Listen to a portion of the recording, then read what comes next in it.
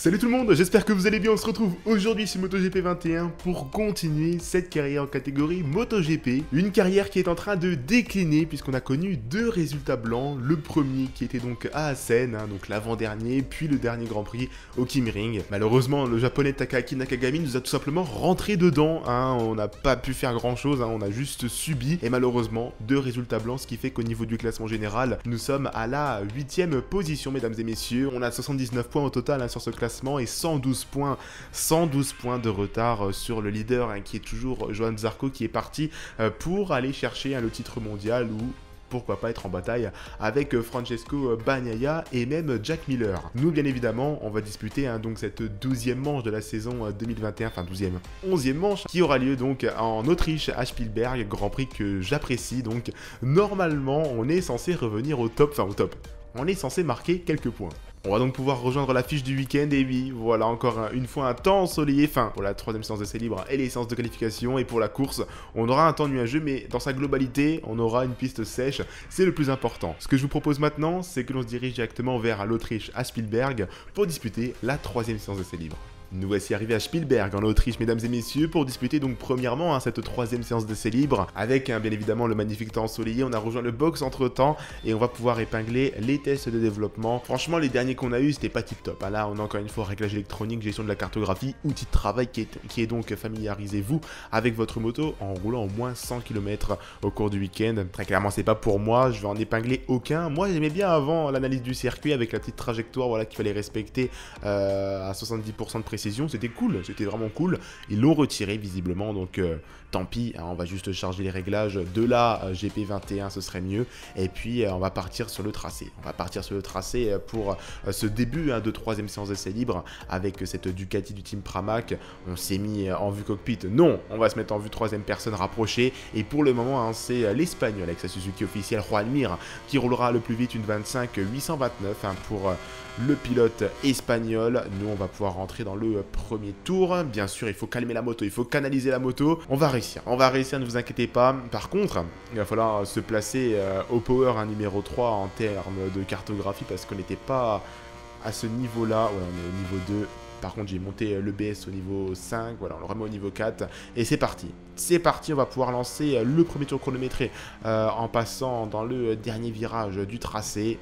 Et là, on va essayer d'aller chercher, comme je l'ai dit, hein, le chrono de Juan Mir, une 25 829, c'est notre référence. Donc c'est parti, premier tour chronométré lancé. Et donc, on va se concentrer pour se retrouver à la fin euh, du premier tour. Allez, on est juste derrière euh, Paul Espargaro. Et devant Paul Espargaro, on a Rohan Mir. On est à 48 millième de retard du chrono de Takaki Nakagami. On est passé en 1 25 670, mesdames et messieurs. Premier tour. Premier tour qui est déjà bien plus prometteur hein, que lors des premiers tours qu'on avait réalisés sur les deux précédents Grands Prix, hein, très clairement. Donc là, c'est parti. On relance un deuxième tour. On est quatrième. On a été euh, relégué à la quatrième position. Pour l'instant, c'est Martin. 25 199 même. 1 25 065 pour euh, Fabio euh, Quartararo. Nous, l'objectif, hein, c'est d'aller chercher bien évidemment euh, ces chronos-là, mais ça va être compliqué. Ça va être compliqué, on va quand même essayer de pousser au maximum. Ouais, ça commence déjà à bien descendre, on est septième maintenant. Allez, c'est parti. Et nous, on se retrouve à la fin de ce deuxième tour. On a réussi à améliorer là de 252 millième. Euh, on a réussi à remonter à la 9 position, mesdames et messieurs, mais c'est compliqué. Hein. Je vous avoue que c'est très très très compliqué. Là, je vais refaire encore un, tour, enfin, quoique même pas. Je vais tout, simplement retourner au stand, avancer un petit peu le temps parce que, mine de rien, j'ai fait quand même 4 tours, je crois, dont un que je n'ai pas pu terminer parce que j'avais plus d'essence. Donc là, on va tout simplement faire séance en direct, avancer un petit peu euh, le cours de la séance. Et pour l'instant, nous sommes toujours 9 à quasiment 23 22 minutes de la fin.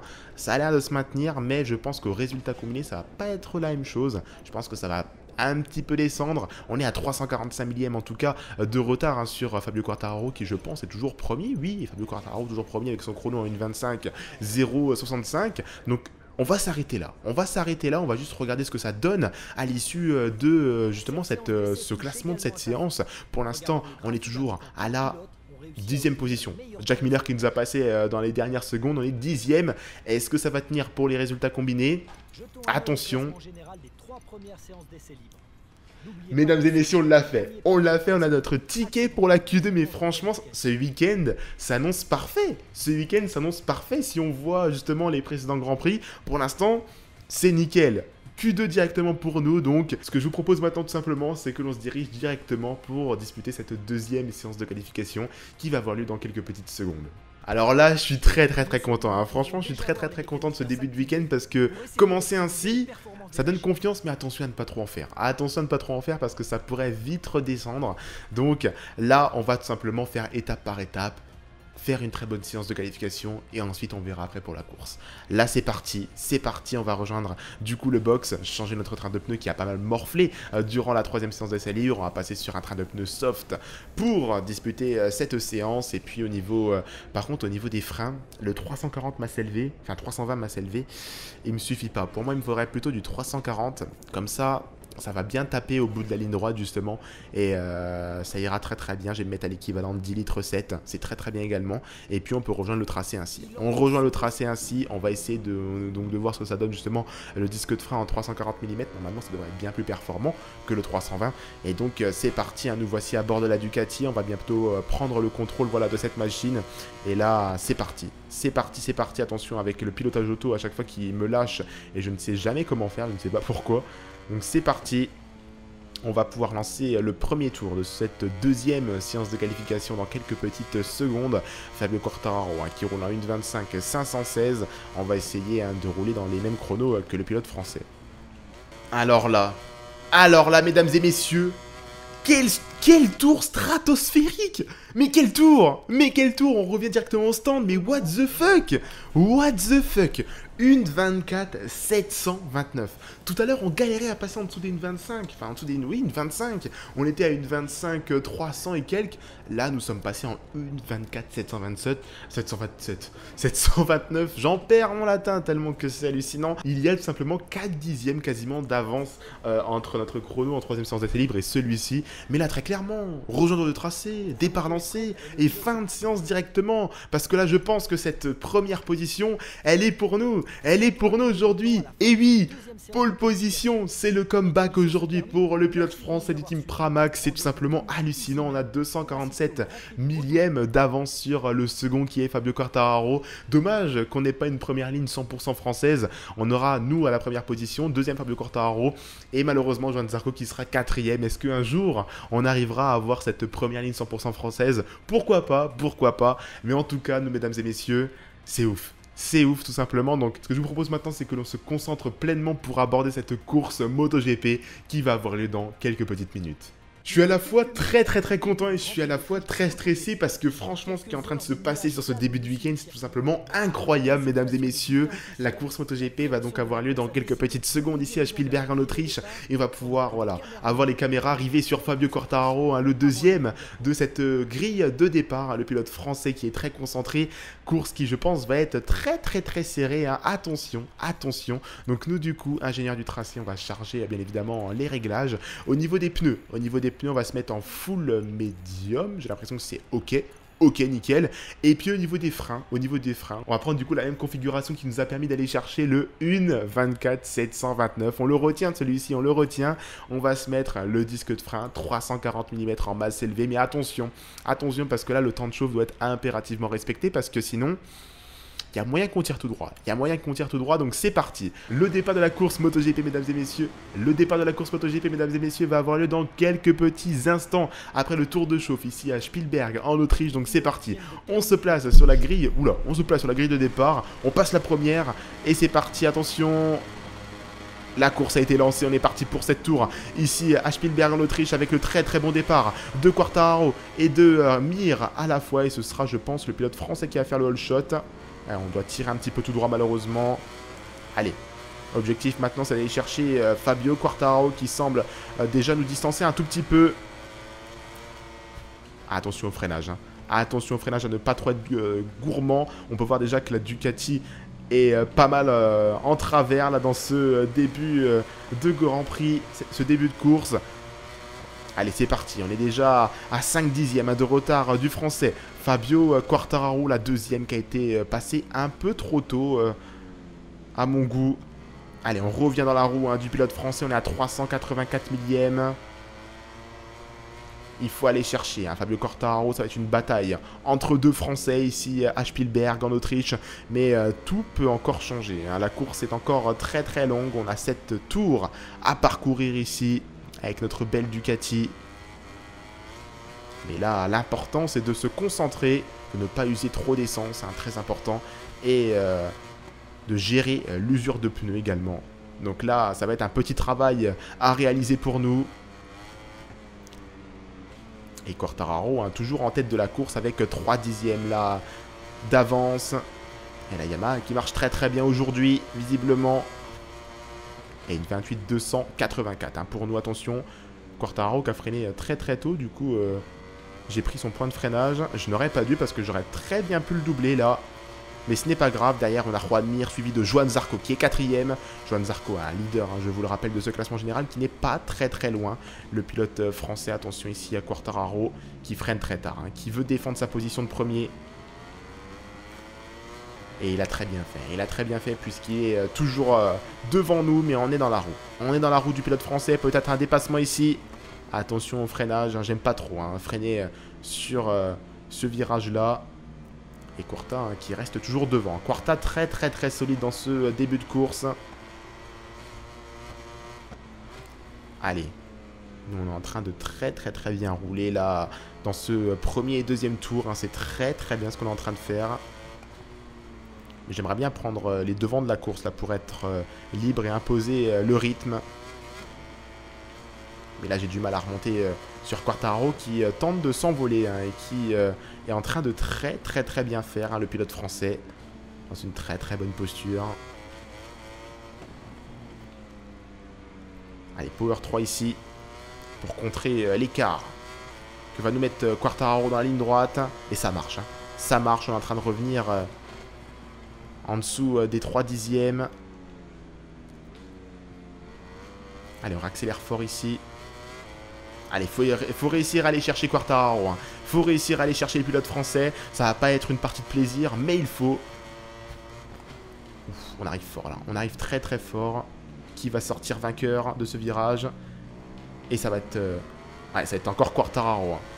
Nous, la Ducati euh, se lève un peu trop fort à chaque fois. Sur les phases de réaccélération. Allez, on laisse Quarta devant parce que ce virage-là, comme je l'ai dit, je suis vraiment, vraiment pas fan. On peut voir comment la, la Ducati gigote pas mal. Et Quarta hein, qui est très très très solide. Hein. Très très très solide. On va arriver en plus sur la mi-course. Toujours en tête hein, pour le pilote euh, français.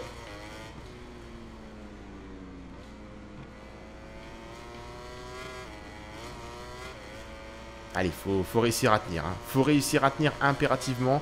Là, dans les prochains tours, je ne vais pas déclencher euh, ma cartographie au niveau 3. Je vais laisser tout ça au niveau 2 pour qu'on ait vraiment l'essence nécessaire pour pourquoi pas placer une attaque en fin de course. Mais là, il va falloir être très très très précis dans le pilotage. Parce que sans Power 3, ça veut dire que l'écart va grandir malheureusement. Mais voilà, il va falloir euh, faire ce qu'on est en train de faire là actuellement. Revenir euh, avec l'aspiration sur euh, Fabio Quartararo. 5 dixièmes. Allez, faut revenir, hein, faut revenir. À chaque fois, on revient, bien avant de freiner justement sur, sur ce virage-là. Ouh la vache. Oh, on a failli toucher Quarta.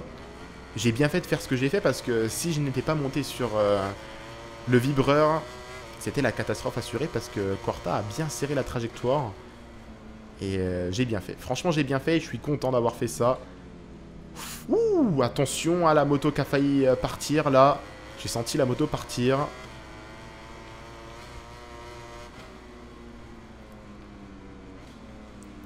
Ah, ou attention à Juan Mir. Attention à Juan Mir là qui euh, place une attaque très très très agressive. Et qui va passer. Hein. Le pilote espagnol qui passe.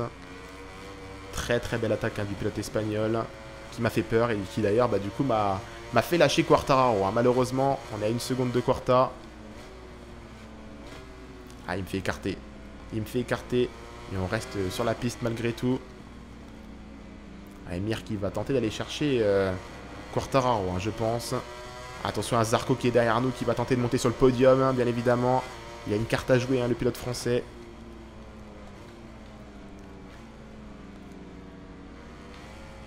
Ah, petite, sortie. pour nous, mais toujours pas d'avertissement. Je ne sais pas comment sont faits euh, les limites sur euh, Spielberg, mais c'est hallucinant. On n'a toujours pas de, sanctions, malgré les petits écarts qu'on a fait dans la partie verte. Par contre, là, je, suis rentré un peu trop fort dans le virage. Hein. On va tirer un petit peu tout droit, mais on revient. Et Johan Zarco en profite malheureusement de cet écart. Allez, on est quatrième, on est en dehors du podium malheureusement. Faut réussir à revenir. Hein. Faut réussir à revenir. Ou attention, à Jack Miller derrière nous.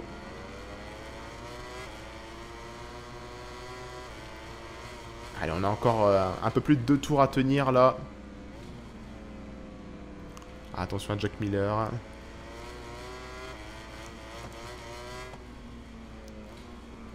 Ouais, je sens que cette fin de course va être un petit peu compliquée avec la Ducati malheureusement.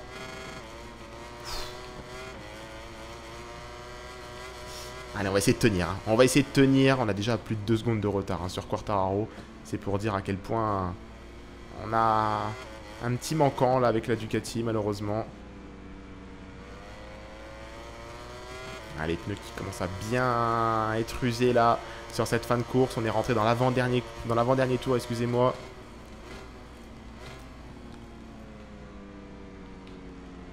là, je vais garder mon essence. Hein. Là, je vais garder mon essence. Ça va être très précieux là sur euh, cette fin de course. Si on peut remonter un petit peu Joan Zarco euh, avec l'aspiration, ça, ça serait cool. Et en prenant des bonnes trajectoires également. L'aspiration ici sur euh, Zarco, ça va être pas mal là. On va pouvoir le remonter, mais on pourra pas le doubler. On pourra revenir dans sa roue. Attention au freinage. Hein. là, franchement, ce, cet avant-dernier tour est très très bien réalisé par nous là. On a très très très bien réalisé cet avant-dernier tour. Très peu d'erreurs pour l'instant. Donc non, franchement, c'est top là. On est revenu dans la roue du français. Par contre, pas, pas du tout de Power 3. Hein. Zéro Power 3 dans le dernier tour parce que sinon on finit pas la course. Hein. Là, c'est sûr et certain, on finira pas la course si on met un coup de Power 3. J'espère vraiment qu'on va pouvoir finir la course parce que là, au vu de l'essence qui nous reste, ça craint. Ça craint. Allez, on va pouvoir rentrer dans le dernier tour, mesdames et messieurs. Dans quelques instants ici à Spielberg. C'est fait. Allez, faudrait réussir à doubler Zarco, mais euh, je suis très très mal parti. malheureusement, ça va être dur. Hein. Malheureusement, ça va être dur. Je crois qu'on va devoir tenir la quatrième position. C'est un petit peu dommage parce qu'on était vraiment bien parti. Je crois que ça va être euh, un peu compliqué. On va aller chercher Johan Zarco. Ouh la vache. Johan Zarco qui a bien guidonné là. Hein. Et j'ai très très mal négocié en plus l'épingle. J'ai fait l'erreur. J'ai serré fortement euh, l'intérieur. Ouh la vache, ça glisse. Hein. Ça glisse, hein. ça glisse fort. Hein je pense que Johan Zarco, c'est... on pourra pas l'avoir. Hein. Si on tente de l'avoir, ça va être la chute assurée, malheureusement.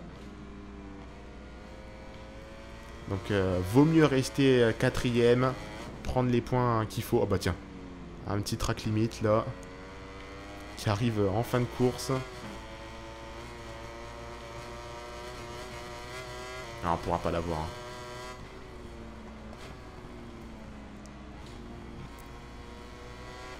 Quoique, on est vraiment à rien. Hein. Oh Un petit coup de power 3. Ah, on l'aura pas. Ah, c'est dommage, on ne l'aura pas. Dommage que la ligne droite ne soit pas assez longue. On aurait pu l'avoir parce que là, franchement, comme, vu comme il a guidonné, c'était limite. Hein. C'était limite, mais en tout cas, quatrième position, c'est très très bien. C'est très très bien après les deux grands prix blancs qu'on a connus. Franchement, je suis content. Je suis content. Du coup, premier, Fabio Quartararo, deuxième Juan Mir et troisième Joan Zarco, qui du coup euh, compléteront ce podium. Nous, au niveau du classement général, toujours huitième, avec 92 points et 115 euh, points de retard sur, sur Joan Zarco, toujours premier euh, de ce classement général provisoire. Nous, bien évidemment, on va retourner au box et on est très content parce que là, on va remonter un petit peu au niveau de la réputation et normalement, on devrait être plus très très loin du licenciement. Enfin, du licenciement. De passer de l'autre côté de la barre du licenciement. Donc on va voir tout ça, hein, mais normalement, ça devrait le faire. Hein. on devrait euh, être plus très très loin. Ouais, voilà, on est vraiment... à rien du tout. Si on gagne le prochain Grand Prix, normalement, on pourrait avoir un statut de contrat stable. Donc, prochain Grand Prix, mesdames et messieurs, semaine 32, 12e Grand Prix de la saison à Silverstone, en Grande-Bretagne. On arrive donc à la fin de cette vidéo, j'espère que ce Grand Prix disputé à Spielberg en Autriche, où on aura réussi à revenir un petit peu dans la course hein, avec une quatrième position obtenue. T'auras plus, c'est le cas, n'hésite pas à lâcher ton plus gros like, ça me ferait extrêmement plaisir, tu peux également commenter la vidéo, la partager, t'abonner, et surtout, n'oublie pas d'activer la petite cloche notification pour être au courant dès lors que je sors une nouvelle vidéo. En attendant, je te dis à mercredi 17h pour la suite de cette carrière en catégorie MotoGP à Silverstone en Grande-Bretagne. Allez, salut